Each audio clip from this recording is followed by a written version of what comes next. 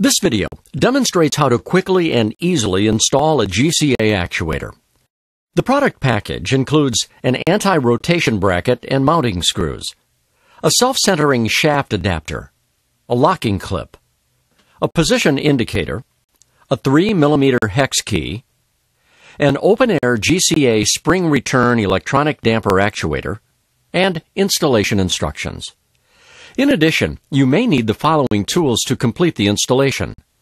A drill with five 30 seconds inch bit or self-tapping screws and a screw gun. A small Phillips screwdriver. A 10 millimeter wrench. A pencil and a tape measure. First, determine the rotation direction of the damper in order to orient the actuator for clockwise or counterclockwise operation. Here, the damper rotates counterclockwise to open. For a spring return actuator, determine the desired power fail position. Here, we want the damper to close automatically upon power failure. Next, make sure the damper shaft length is at least 3 inches and that the shaft diameter is compatible. Now we are ready to install the actuator. On the actuator, the manual rotation arrow indicates the direction of the actuator rotation. Turn the actuator to the counterclockwise side since we want it to rotate counterclockwise to open. Insert the shaft adapter at the alignment mark on the actuator. Note that actuators are shipped with 5 degrees of preload for tight seal compression when the damper closes. This is released the first time the actuator is operated. Secure the shaft adapter with the locking clip. With the damper closed, mark the shaft center line for a visual indication of the position. Place the actuator on the shaft and tighten the shaft adapter by hand. The self-centering jaws hold the damper shaft in the center to eliminate side loading and provide a secure no-slip connection to the shaft.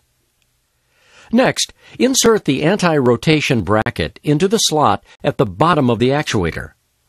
This bracket can be oriented at different angles or bent to stand off in an application. Using the holes in the anti-rotation bracket as a guide, drill a hole at each end of the bracket. Then, secure the bracket with the screws provided or use self-tapping screws. Tighten the damper actuator to the shaft with the wrench to 7.5 foot-pounds torque maximum. Attach the position indicator and your installation is complete. Next, let's demonstrate the manual override feature which is used to move the damper in the absence of power. For a spring return actuator, insert the 3 mm hex key into the manual override opening. Turn the key in the direction of the arrow until the damper is in the desired position.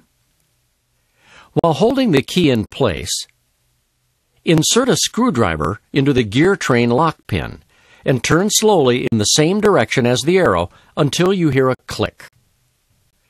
The actuator is now held in place. To release the manual override, turn the key about 5 degrees in the direction of the arrow. Once the actuator returns to the fail-safe position, you can remove the key.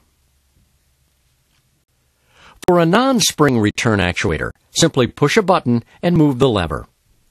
When released, the equipment is held in place.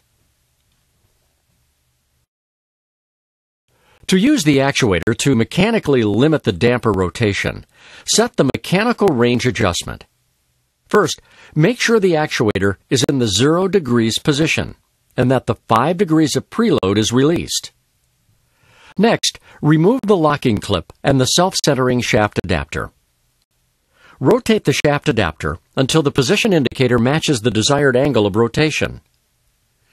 Now insert the shaft adapter and fasten it with the locking clip. The actuator stroke is now adjusted. Now all of the parameters have been set on the actuator.